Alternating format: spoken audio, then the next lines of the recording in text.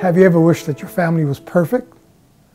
That mom and dad, brother and sister, son and daughter were just the way you wanted them to be?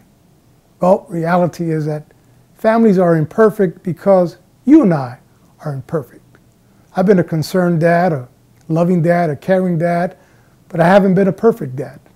I remember when my daughter Christine was about 10 years old, and she was just didn't want to get to her homework, and I really pressed her so hard and uh, shouted at her and, and pushed the paper, her paperwork, right in front of her.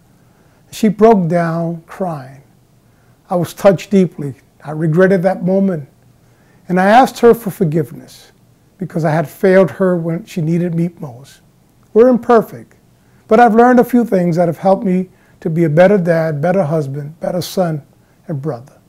One, I've learned to accept that we are different, that all family members are different. Some of us loud, some of us are quiet, some of us eat a lot, some of us don't eat that much. Some of us don't want to be around no one. Some of us, like me, like to be around people.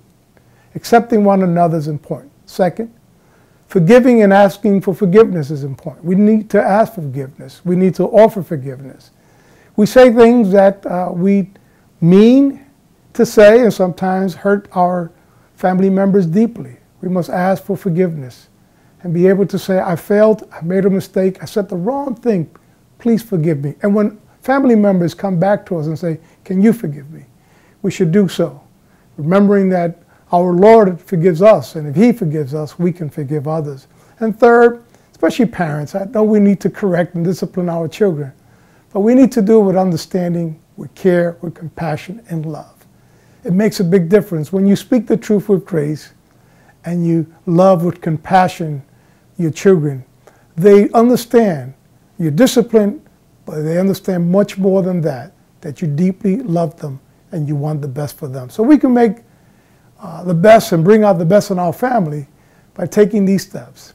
You're not going to make a perfect family. You're not going to uh, make the family the way you want them to be, but you can help by being a caring, loving person. And that can go a long way.